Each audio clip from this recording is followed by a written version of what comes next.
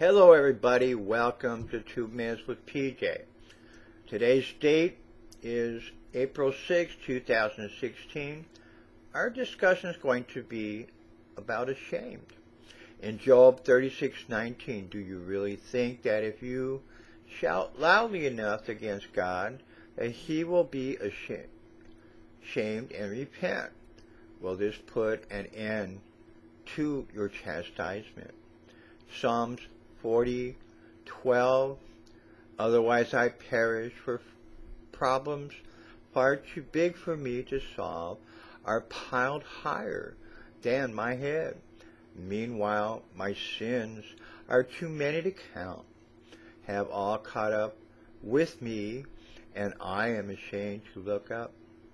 My heart quails within me.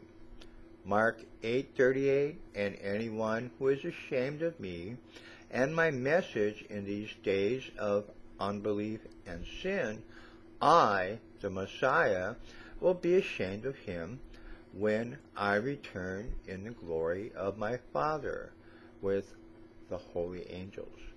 Romans 1:16 For I am not ashamed of this good news about Jesus Christ.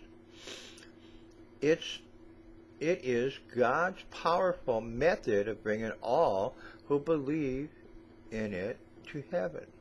This message was preached first to the Jews alone, but now everyone is invited to come to God in this same way. When we turn against God, we need to repent.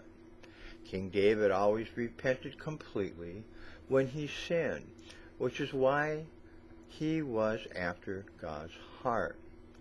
Anyone who is ashamed of Jesus will be put to shame when Jesus enters back into heaven with God the Father.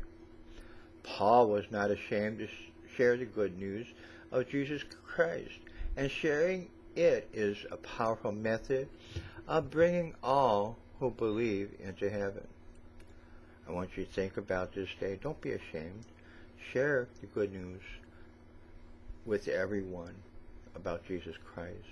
And God bless.